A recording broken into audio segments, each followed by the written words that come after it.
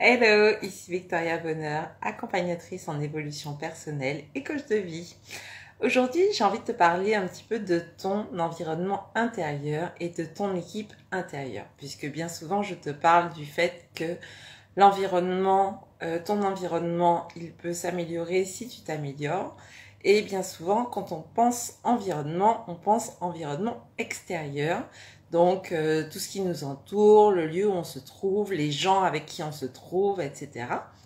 Et aujourd'hui, j'ai envie de te parler un petit peu de ton environnement intérieur et euh, de ton équipe intérieure. Alors, ce que j'appelle l'équipe interne, c'est euh, tout ce qui nous compose, c'est-à-dire notre mental, notre conscience, notre subconscient, notre corps et notre intuition puisque ben en fait on a un petit peu tout ça à notre disposition et il arrive parfois que euh, certaines parties de nous ne soient pas d'accord.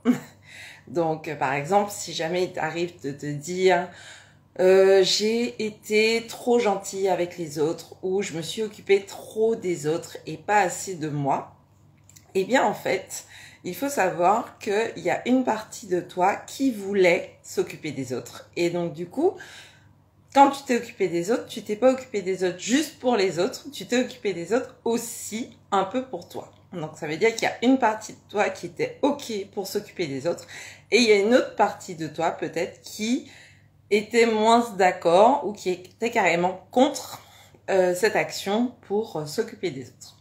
Donc prends le temps effectivement de te poser la question quand tu fais quelque chose même si il y a des fois on a tendance à se dire oui je l'ai fait à contre-cœur, mais en fait il y a une partie de nous qui voulait quand même le faire.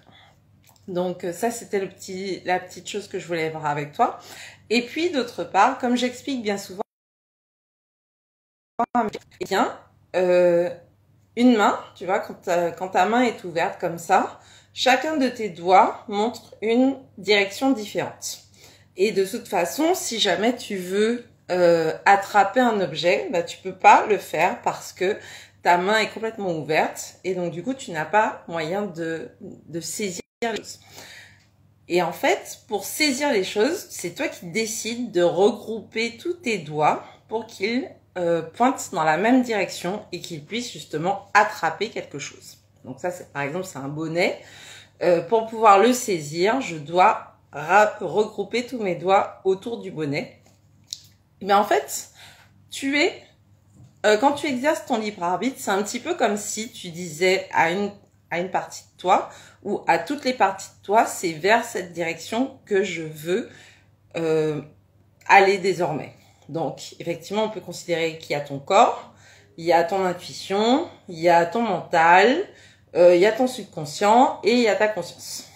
Et si jamais tu ils pointent chacun dans une direction différente. Chacun veut euh, le meilleur pour toi.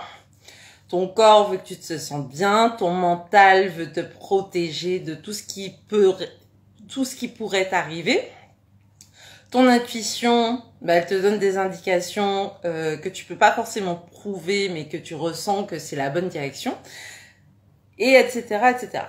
Et puis, à un moment donné, toi, avec ton libre arbitre, avec ta conscience, le jeu, tu vas décider de quelle direction, qui est-ce que tu as envie d'écouter. Parce que des fois, effectivement, ton intuition te donne une indication, ton corps te donne une indication, ton mental te donne encore une autre indication. Un peu comme les doigts de la main quand elle est ouverte et que chaque doigt pointe dans une direction différente. Et donc, du coup, c'est à toi, au moment où tu prends ta décision, de dire, bon, bah, très bien, dorénavant, là, pour ce sujet-là, j'ai décidé d'écouter mon corps, mon intuition ou mon mental ou les, ceux qui étaient d'accord, etc., etc. Et à ce moment-là, tu vas leur dire, comme quand tu décides de refermer la main sur un objet, eh bien, j'ai entendu votre euh, votre avis, mais c'est moi qui décide et j'ai décidé que je vais dans cette direction-là. Donc voilà. Pourquoi est-ce que je te dis ça? C'est parce que bien souvent, j'entends dans euh, les conversations, dans mes coachings, oui, mais en fait, il y a une partie de moi qui aurait bien envie de, mais de l'autre côté, je suis bloquée. Et des fois, c'est le mental, parce que le mental, c'est un petit peu l'archiviste. C'est lui qui va essayer de voir à partir de ton expérience passée si euh, ce que tu as envie de faire, c'est une bonne idée ou pas. Parce qu'en fait, il va juger à partir de ce que tu as déjà vécu, si ça ressemble à quelque chose que tu as déjà vécu, euh, si l'empreinte émotionnelle était positive ou négative. Si par exemple tu es déjà allé à la piscine et que ça s'est bien passé, euh, et que après tu as une expérience avec de l'eau, donc ça peut être aller à la plage ou aller euh, dans un jacuzzi, etc. Ton mental il va, il va se dire, pardon, euh, eh bien la dernière fois il y avait une expérience à la piscine, ça s'est bien passé, mais euh, du coup comme on est dans un dans un schéma un peu similaire, ok tu peux y aller. Ou inverse, au contraire, si la dernière fois que tu es allé euh, faire une activité dans l'eau, ça s'est mal passé parce que je sais pas moi, tu as glissé sur le bord de la piscine, euh, si jamais tu as par exemple eu des problèmes ou que tu savais pas nager ou que tu as eu un petit peu peur dans l'eau, la prochaine fois que tu vas envisager d'aller dans un dans un dans une activité aquatique, ton mental, il va te dire, oh là là, non, non, non, la dernière fois que tu t'es promené, euh, que tu as eu envie de faire une activité aquatique, ça s'est mal passé, là encore, ça va mal se passer. Donc, ton mental, lui, il essaye de te protéger, mais en fait, il va essayer de te protéger qu'avec des choses qui se sont déjà passées, donc auxquelles tu as déjà survécu, et euh, l'inconnu, il ne connaît pas. Enfin, il ne, il, il ne l'aime pas, il ne le connaît pas et il ne sait pas comment l'appréhender. C'est comme une maman poule que tu as à l'intérieur de toi qui va faire en sorte qu'il ne t'arrive rien. Sauf qu'en fait, t'es pas venu sur Terre, selon moi, encore, pour qu'il ne t'arrive rien. Il est, tu es venu sur Terre pour vivre des expériences. Et ce n'est pas parce qu'une expérience précédente s'est mal passée, parce qu'il y avait peut-être des conditions particulières pour que ça se passe mal, que une autre expérience dans un même contexte va encore mal se passer. Parce que, un, tu as déjà survécu à l'expérience qui s'est mal passée. Et deux, maintenant tu es plus fort ou plus forte, en fonction de si jamais tu es un homme ou une femme. Et euh, tu sais, tu as développé des stratégies qui t'ont permis, la première fois, de survivre. Donc voilà, c'est un petit peu ça que j'avais envie de te, partager. Donc du coup, effectivement, essaye de voir à chaque fois si jamais tu as du mal à prendre une décision, si jamais tu as du mal à passer à l'action, quelle partie de toi qui a envie d'y aller et quelle partie de toi qui n'a pas envie d'y aller. Et après, c'est toi en fait qui décides quelle partie tu as envie d'écouter. Si jamais ça te fait peur mais que tu as envie quand même d'y aller, eh bien, tu peux quand même décider d'y aller. Et tu peux euh, trouver des supports extérieurs à ce moment-là pour renforcer euh, ton argumentation par rapport à toi-même. Donc euh, voilà, c'est un petit peu ça que j'avais envie de te partager aujourd'hui.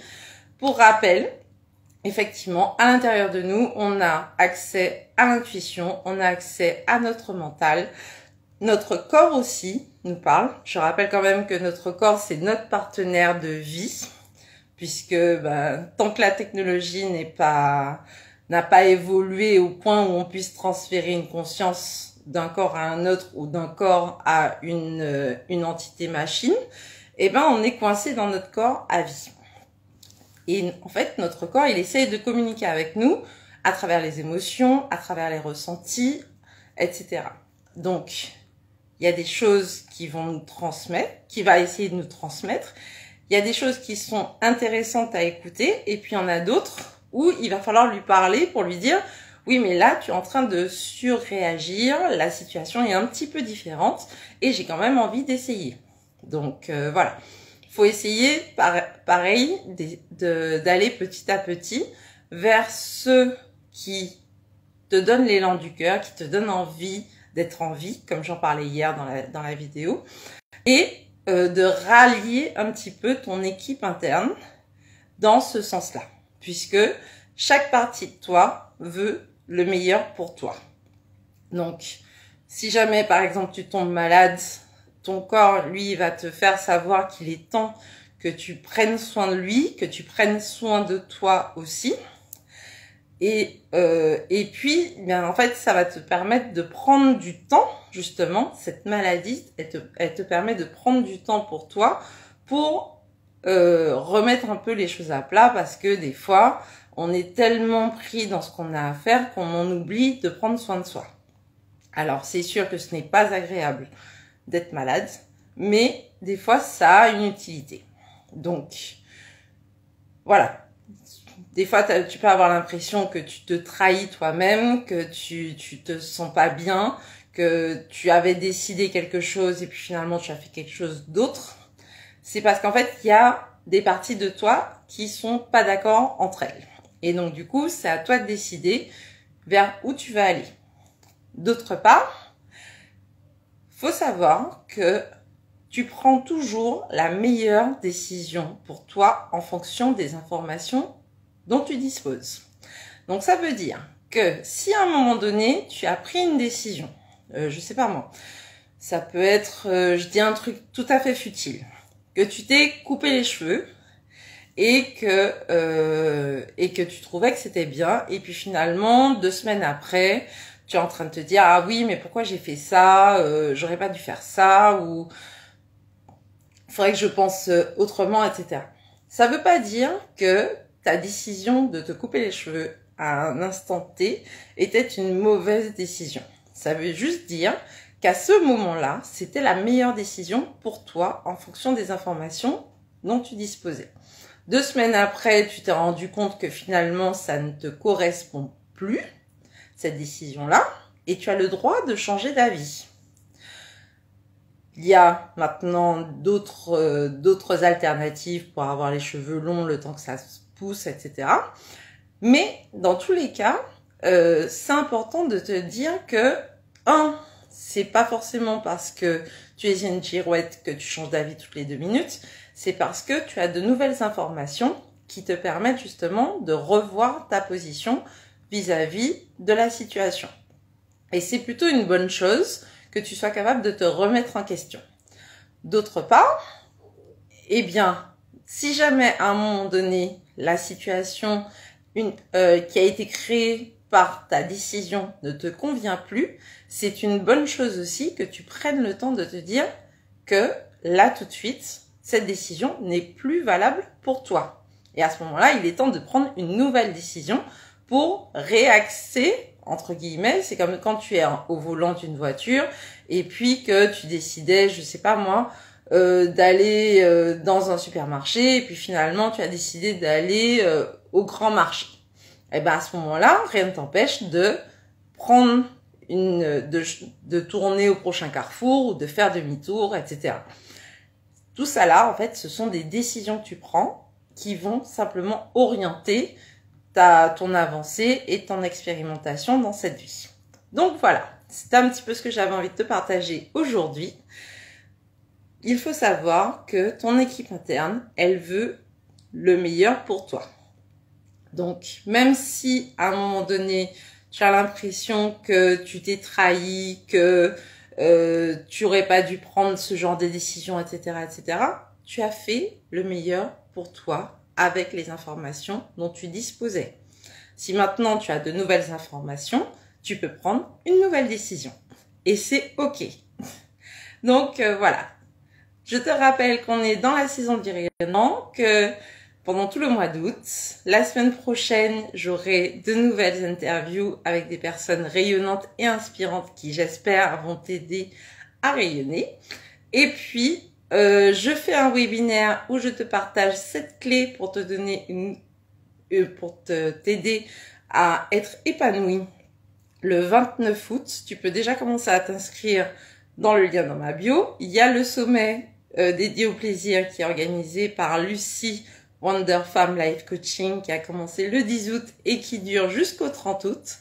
Donc je t'invite à t'inscrire aussi euh, sur le lien qui est dans ma bio. C'est 100% gratuit et il y a beaucoup d'intervenants qui te parlent du plaisir mais dans tous les domaines de vie. pas uniquement au niveau sexuel, c'est au niveau de la famille, au niveau du travail, au niveau du développement personnel, etc., etc.